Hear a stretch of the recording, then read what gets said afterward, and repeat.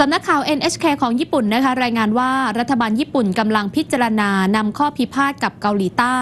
ในประเด็นการชดเชยบังคับใช้แรงงานช่วงสงครามโลก เข้าสู่ระบบศาลยุติธรรมระหว่างประเทศ หลังจากที่เลยกำหนดการระงงับข้อพิพาทโดยอนุญาโตตุลาการบุคคลที่ 3 แล้ววันนี้ ความตึงเครียดระหว่างญี่ปุ่นและเกาหลีใต้ครั้งนี้นะคะ เป็นผลมาจากการบังคับใช้แรงงานในสมัยที่ญี่ปุ่น เคยเข้ามายึดครองคาบสมุทรเกาหลี ในช่วงปี 1910 ถึง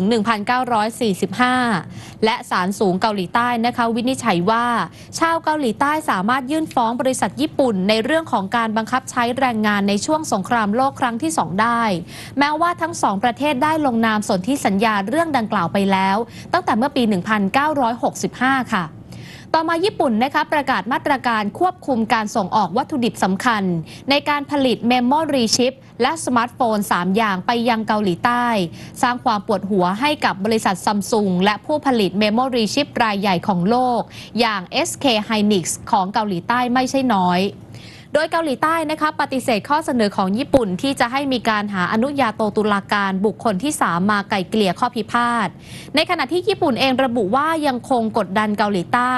ให้ยุติข้อพิพาท แล้วก็จะเตรียมมาตรการตอบโต้ต่อไป